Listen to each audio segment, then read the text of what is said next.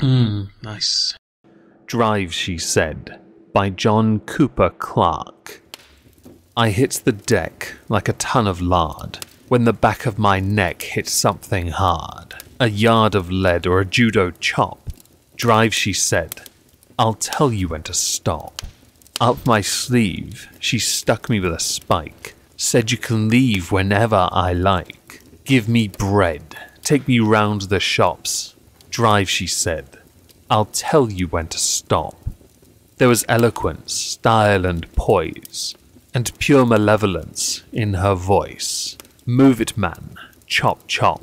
Drive, she said. I'll tell you when to stop. She wore leatherette jeans, AirWair shoes. I've never yet seen such a rare hairdo. A natty dread with a borstal crop. Drive, she said. I'll tell you when to stop.